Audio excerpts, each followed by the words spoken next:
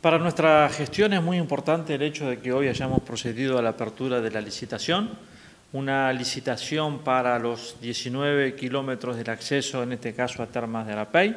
Mencionar que se han presentado cinco, cinco empresas eh, a este llamado, concretamente las empresas Pietroboni, Cujó, Osusa, Lipin, Sociedad Anónima, Grinor, Sociedad Anónima.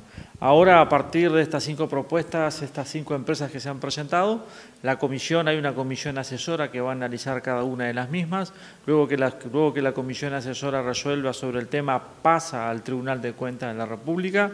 Al volver del Tribunal de Cuentas, se adjudica a una de estas cinco empresas la obra, habrá que notificar a las restantes, es decir, que hay que cumplir con un proceso administrativo que va a llevar aproximadamente tres meses. Eso significa que agosto, septiembre, a finales de octubre eh, deberíamos saber, debería estar adjudicada la obra a una de estas cinco empresas y a partir de allí comenzar con la reparación, la mejora de este acceso de 19 kilómetros. Ya le hemos hecho saber también al Ministerio de Turismo, porque el Ministerio de Turismo estaba también sumamente interesado en este tema.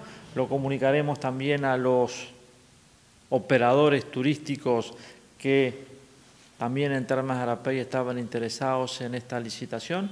Creo que es un paso muy importante, una inversión que supera los 100 millones de pesos y sin duda que va a contribuir a fortalecer un centro termal y un destino turístico fundamental para el desarrollo de Salto y la región.